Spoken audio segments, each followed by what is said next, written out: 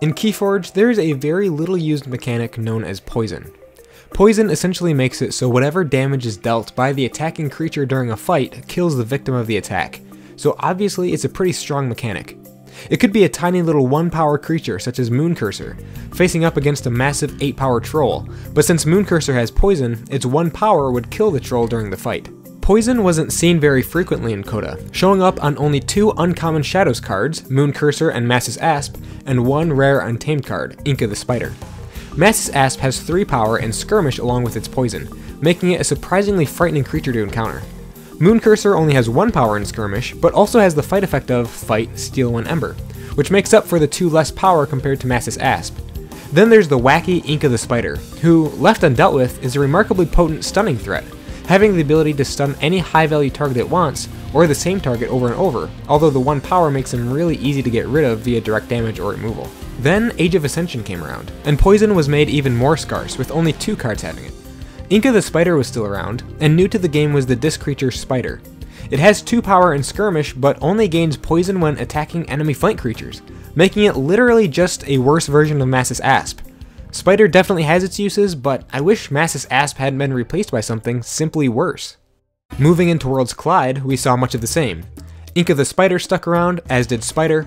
Newly introduced to the game, however, was Xenos Bloodshadow, one of the most outlandish creatures ever created. This guy has Elusive, Hazardous 6, Poison, and Skirmish, so he's practically impossible to fight into. What's meant to balance him out though, is that he always comes with Toad, a 1 power creature that can't reap, but he's still pretty dang strong, especially with that poison enhancing him even more. Mass Mutation finally got rid of Spider and Inka, while keeping around Xenos Bloodshadow and bringing back Macis Asp. It introduced two new poison cards, the first of them being Wrath, one of the seven deadly sins. Wrath not only has poison, but taunt and skirmish too, 3 power, 3 armor, and reads Fight, for each friendly Sin creature, and Rage an enemy creature. This is one of the best taunt creatures out there, offering phenomenal protection and offensive value with its poison and fight effect. And since he's one of the sins, he'll come with a few other sins as well that are definitely worth protecting. The other poison card that was introduced in Mass Mutation is the Shadows artifact Doom Sigil, which reads, each creature gains poison. If there are no creatures in play, destroy Doom Sigil. This card is terrifying on paper, and can result in creatures swinging into each other and just obliterating each other, no matter their power. I think it's a very skill testing card. Its effectiveness really depends on the deck it appears in, and on the timing it gets played with. Now we move on to Dark Tidings, and this set went crazy with the poison. It scrapped every poison card that we'd ever seen before, and introduced 5 new creatures with poison, and 2 others that had the potential to interact with poison based on what existed in the battle line. In Shadows, we have Sea Urchin, a Dark Tidings favorite that offers all sorts of value. If the tide is high, you get to steal one Ember, but if it's low, you get to capture onto it, and with it having poison, it can be a nuisance to deal with. In Sanctum, we have Sir Bevor's Evil Twin, with 1 power and 5 armor. The 5 armor combined with its poison gives it the ability to fight into some larger creatures without taking any damage, which I think can be a decent substitute for the skirmish that Macis Asp or Mooncurser offered. In Unfathomable, there are three creatures with poison. First is Fuguru, who makes your opponent draw one less card during the draw card step. Second is Horrid Synan, a super vanilla 4 power poison creature. And third is Horrid Synan's Evil Twin, who only has 2 power but has Taunt accompanied with its poison, making it a pretty dangerous form of creature protection. And finally, in Logos we have two creatures that don't inherently have poison on their own, but can gain access to it based on what's in your battle line. First is Captain Cresage, who reads, While you control another creature with Elusive, Taunt, Poison, or Skirmish, Captain Cresage gains that keyword. In a perfectly ideal situation, Cresage would be a 6 power taunt creature with Poison, Elusive, and Skirmish, making him the ultimate keyword conglomeration. However, that rarely happens, and often ends up with just one or two keywords. Lastly is Captain Cresage's Evil Twin, who causes each creature to lose their keywords. Depending on the deck he appears in, he can do a lot more damage to yourself than the opponent, but sometimes Cresage's Evil Twin can be exactly what you need to make it easier to eliminate a threat, including negating poison. So that was a quick overview of all the cards with poison in Keyforge, but a question that arises is, how has the mechanic of poison evolved from set to set? I think I have an answer, and it's that poison really shifted from a combat mechanic to more of a defense mechanic. Here's what I mean.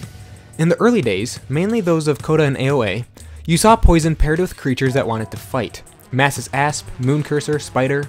Later into the game, you saw poison paired with creatures that more or less just didn't want to be touched.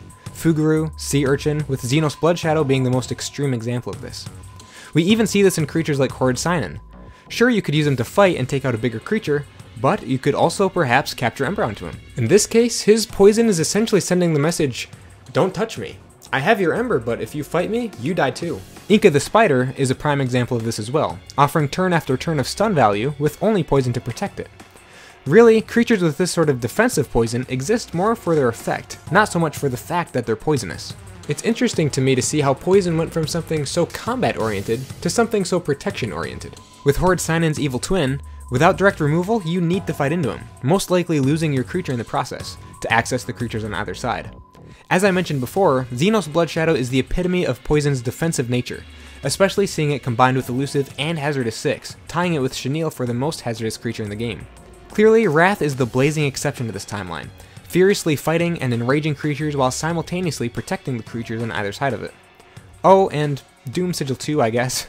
I suppose that exists as well, and that just throws everything for a loop, pretty much making all power values completely meaningless. Another question that arises, however, is how viable is poison as a defensive mechanic? Or as an offensive mechanic, for that matter? Unfortunately, as a defensive mechanic, I think poison is actually pretty weak, and the big reason for this is that so many of the creatures poison appears on as a don't touch me mechanic have such little power. Fuguru, Sea Urchin, Inka, 1 power. Horrid Synan's Evil Twin, 2 power.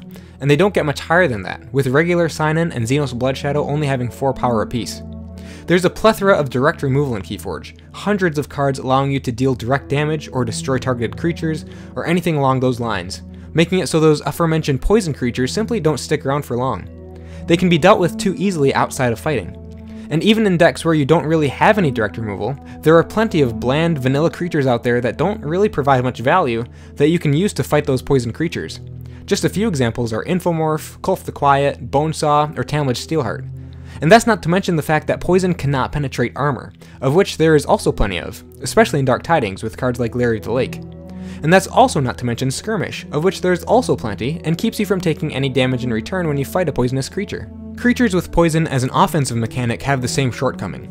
Mooncurser with 1 power, Macis Asp with 3, Spider with 2, they can be dealt with outside of fighting quite easily much of the time. However, in my opinion, offensive poison is actually a little scarier than defensive poison. When your opponent has offensive poison, you know they will be intentionally using their creatures to take out yours, probably your big, stronger creatures with lots of power. However, the most frightening powerful effects usually belong to the smaller creatures. Think of all the witch creatures, for example, or Worlds Collide Star Alliance and Logos creatures. In addition, those must-kill threats are usually protected by something else, like elusive or armor, so a single fight with a tiny poison creature probably won't get you the result you want. Offensive poison is really there so your tiny creatures like Spider can take out behemoth creatures like Groggins. But in the end, even though poison certainly isn't the ultimate Keyforge mechanic that everyone wants to see in their decks, it's still not bad at all. Placed correctly, it can add extra value to creatures that enhance them in some pretty dynamic ways. Taunt creatures are there to protect the creatures on either side of it from being fought, forcing you to fight the taunt creature first, so adding poison to it, as in the cases of Wrath or Horrid Synan's Evil Twin, is a deadly extra bonus. As another example, take a creature like Mooncurser, who's essentially a variation on other Shadows creatures like Umbra or Dodger. Like those two creatures, Mooncurser wants to fight to steal, and the poison is once again an added bonus, not only stealing, but also having the ability to take out massive targets.